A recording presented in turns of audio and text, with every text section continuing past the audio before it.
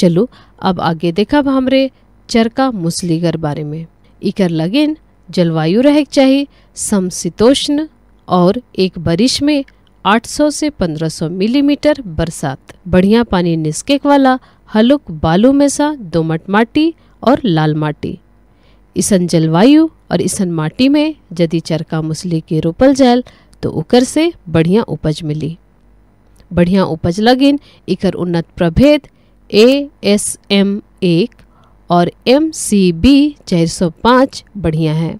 बिहिन दर में एक हेक्टर से दो लाख डिस्क कर आवश्यकता होल दस क्विंटल जेर, दस से बारह ग्राम प्रति जैर कर ज़रूरत होल बिहिन लगाए कर बेरा इके मई से जून तक में लगाए देख चाहिए। दर से दर कर दूरी, तीस सेंटीमीटर, रहले खेती बढ़िया हुई। अब इकर में उर्वरक और माइन देख है, जिकर से इकर खेती बढ़िया हो, उपज बढ़िया भेटाए। माइंद और उर्वरक।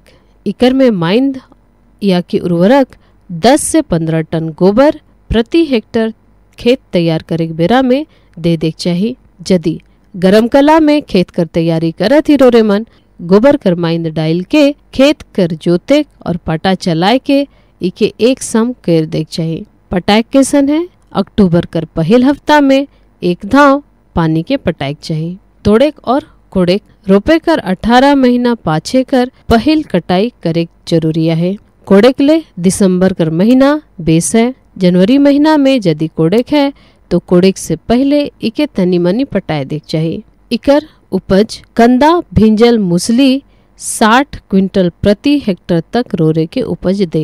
इकर प्रयोग कौन कौन बीमारी में होल शारीरिक शिथिलता दूर करे में, बलवर्धक दवाई के रूप में, टॉनिक मधुमेह गठिया, छुआ जन्म देख बादे होक वाला जे बीमारी मन होल उकर रूप में, और छुआ होल कर पाछे जे बीमारी मन होए जाएला उकर में इकर प्रयोग होल और छुआर माय कर दूध बढ़ाए में भी इकर प्रयोग होल